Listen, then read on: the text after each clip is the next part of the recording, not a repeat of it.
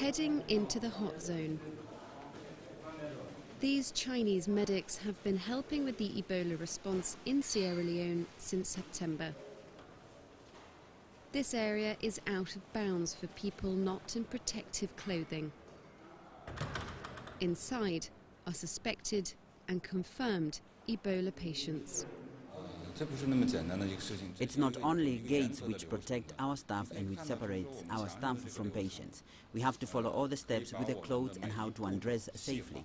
All the procedures have to be strictly obeyed, and we have to make sure the gates are shut, and we have to follow all the protocols to make sure our staff are safe. Before Ebola, this was a 100 bed, fully functioning general hospital.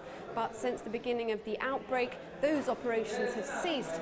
And the local Sierra Leone staff here have been working with their Chinese colleagues solely on Ebola response.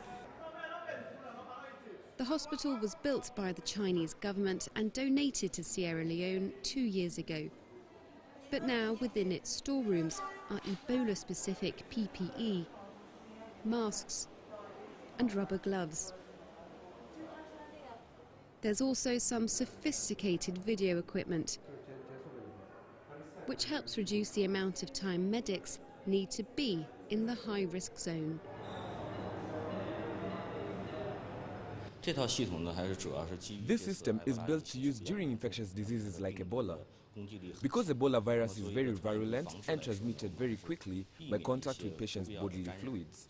So we've installed these cameras in the corridors and also in the wards to observe the doctors and nurses' activities and see if they follow the protocols while treating the patients. And also we can see the patients' activities in the wards. The medics are all staff from the same military hospital in Beijing. No one's worked with Ebola before, but their background is in infectious diseases. We have a lot of experience with SARS in 2003 and also the avian flu in 2009 and 2010. So we have a lot of experience to handle with the outbreak of infectious diseases. So although this is the first time with Ebola and treating this type of patients, our experience can help a lot. This isn't an Ebola treatment unit, it's a holding centre. Sick patients are brought in and tested for the virus. Confirmed cases are then transferred. The primary purpose of the holding centre is to break the chain of transmission of Ebola. We have people who have Ebola, we have people who are suspected Ebola cases, we are in the community. They need to be identified and to move them away from the community and bring them to a hospital where we can keep them and check their status. This hospital is in the middle of an Ebola hotspot.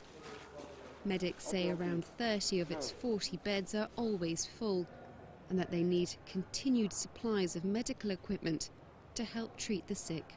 Katerina Vittozzi, CCTV, Freetown.